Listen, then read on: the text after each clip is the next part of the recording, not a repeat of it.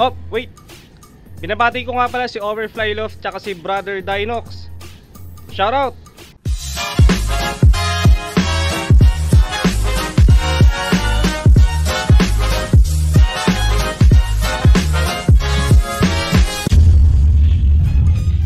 Good day nga mga kalapatids. Marahil nga eh, narinig nyo na yung salitang bai o madalas nababasa nyo sa Facebook o sa YouTube yung bai.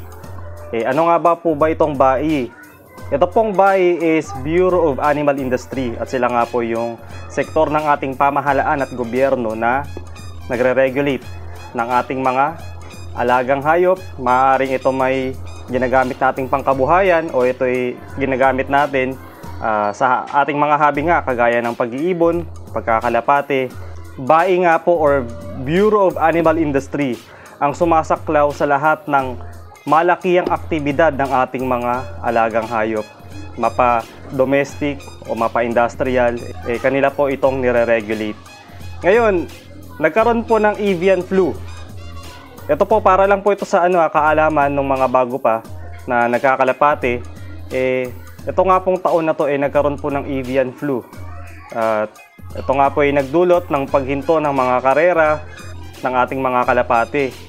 At dahil nga po sa lumaganap ang avian flu, eh, na, naapektuhan po ng matindi yung industriya ng mga manok o ng poultry. At isa nga po sa nakita nilang sisisihin eh, yung mga kalapate na ito daw yung isa sa mga nag-contribute kung bakit lumaganap yung avian flu dito sa Luzon. Ito nga mga kalapatids, yung mga club presidents and coordinators uh, have been working very hard po na maibalik yung karera. Since March pa ata of 2022, at ito nga, eh, may mga memorandum nang nilabas si BAI for approval po yung mga karera ng bawat club. Pero meron silang pamantayan at regulasyon na hinihingi mula doon sa mga club owners. Isa na nga po dito yung pagkolekta ng mga club presidents at ng mga club uh, coordinators ng photocopy ng ating mga ID. Kung ikaw ay fanshier at ikaw ay kumakarera, sa malamang at sa malamang eh, hiningan ka na ng coordinator mo ng photocopy or Xerox copy ng iyong ID. Dito po ilalagay nyo, i-indicate nyo. Ano po ba yung address nyo? Saan nakalagay yung loft? Ano po yung email address para po sa contact? Ano yung phone number nyo? At gaano karami yung ibon na nasa loft ninyo. So yun nga mga kalapatids, bilang pagtalima, pagtalima no, lalim, bilang pagtalima sa regulasyon na nilabas ng BAI at bilang tulong na rin sa ating mga clubs eh tayo po ay ano, hinihikayat ng mga coordinators at presidents na mag-submit ng ating mga requirement. Dahil upon submission po ng mga requirement, eh, ang club po ninyo, ang club natin, ay maaari nang sumailalim sa random audit. Ito na nga po yung topic natin sa araw na to. Yung pong random audit na gagawin ni BAI sa mga members. Random po ito mga kalapatids, hindi po pwedeng mag-cherry pick hindi pwedeng mamili si club owner or si club president kung sino yung i-inspeksyon. Ang mangyayari eh, si BAI po ang mamimili kung sino ang trip nilang i-inspeksyon. Ano po ba mangyayari sa inspection? Eh, syempre, titingnan nila yung overall na kalagayan ng inyong mga ibon at ng inyong loft. And aside from that, meron nga pong blood extraction. Uh, alam nyo mga kalapatids, ito po yung dahilan kung bakit kinancel ko yung breeding ng aking mga ex-machina line ito rin yung dahilan kung bakit kinokondisyon ko yung mga ibon ko. Kasi si Bai, hindi lang basta avian flu ang imo-monitor nito for sure. Marami siyang i-check. PMB, uh, ah, cholera, salmonella. Alam nyo lahat yan mga kalapatid, sisilipin nila. At hahanap sila ng hahanap ng butas para lang masiguro nila na yung pag-a-approve nila ng karera eh sang-ayon doon po sa regulasyon na nilabas ni Bureau of Animal Industry. Yun nga po mga kalapatids, kailangan nating sumunod at makipag-cooperate sa ating mga club para nga po matuloy na yung karera. Alam nyo, wala po akong panlaban itong darating na South 2022 or 2023. Wala po akong panlaban dyan. Pero ako isa sa mga excited na makiabang at makinuod sa mga vlogs, sa mga YouTubes, sa mga Facebook pages ng ating mga fanshiers. Eh, Mahal natin yung sports mga kalapatids. Wala po tayong dapat gawin kundi sumunod lang para nga matuloy na. At alam nyo, good luck po sa mga kakarera. Yung mga na-approve na sa Northern Luzon eh congrats at saka good luck sa inyo mga kalapatids. Sana lahat kayo mag-overall. Sana lahat kayo makapagpauwi at tumapos. At para naman po sa mga nasa NCR, sa Region 4 especially, itong Calabarzon, eh, konting tiis na lang mga kalapatids. Basta gawin natin yung mga kaya natin, maglinis tayo lagi, i-prepare natin yung mga ibon, para magkagulatan man, eh, hindi tayo mapapahiya at mai-impress natin si Bai. Eh, baka sa ganong paraan, eh, i-approve na nila yung karera immediately. Baka yung norte nyo, maihabol pa, di ba? Hindi ang sarap.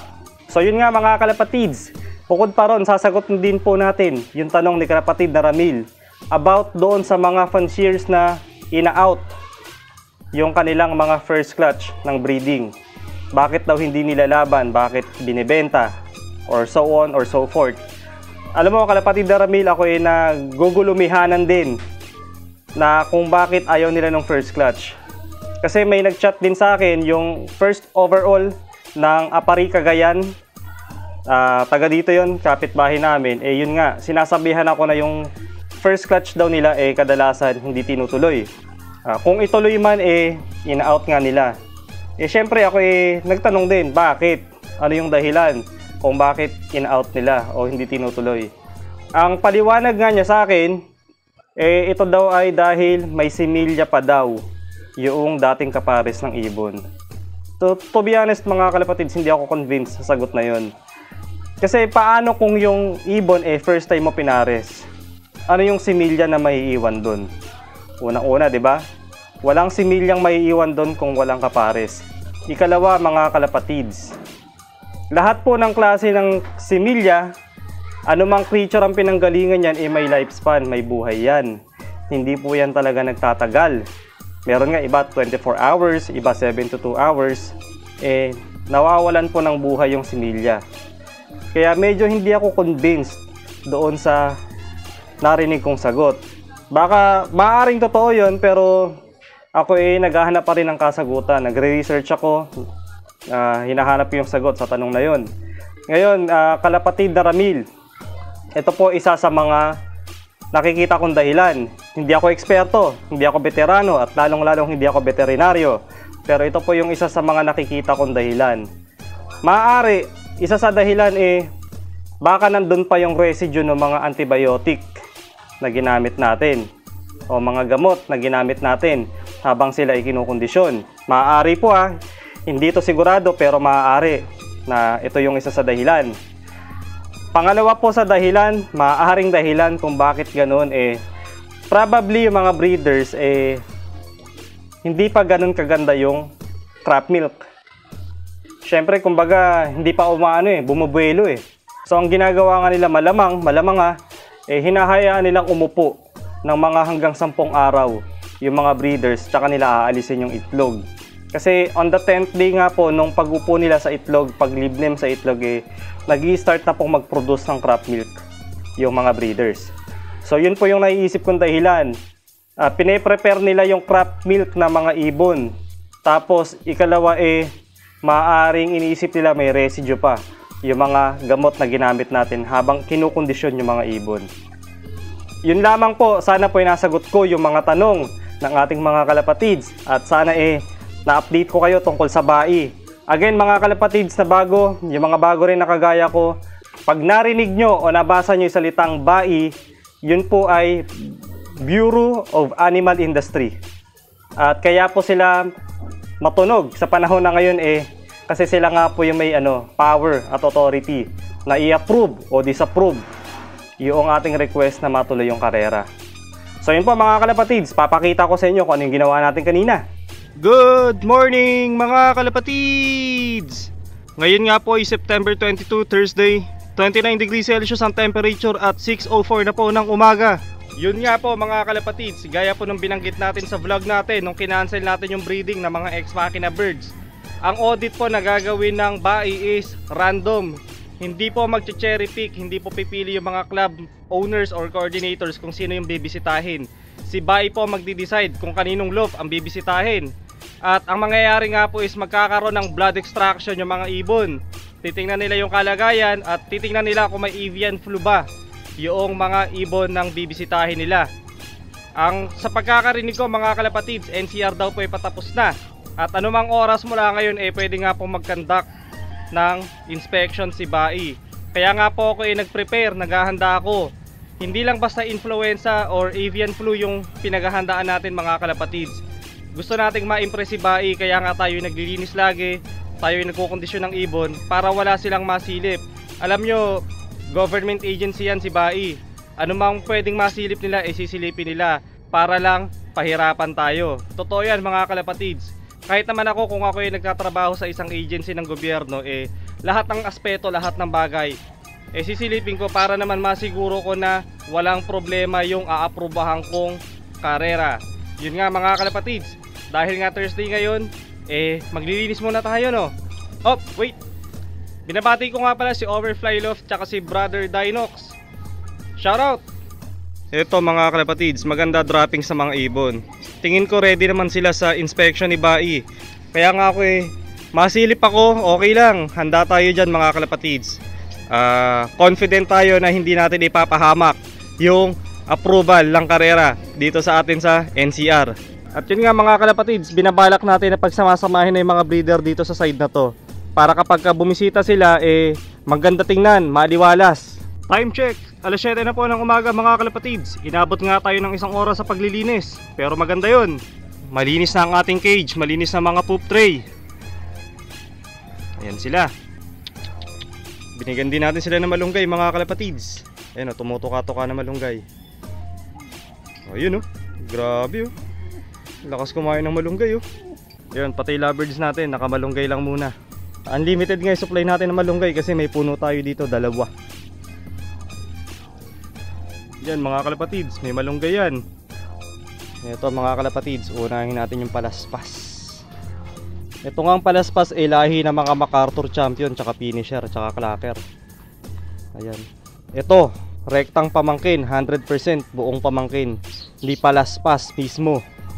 Yung ang nag MacArthur champion sa MPC noong 2015. Yan. Yung parehong magulang nito eh full sib ni palaspas inbred kung baga itong isang to. At ito ay pinsan niya. Magpinsan sila sa lolo sa lola. Isang kanilang lolo at lola.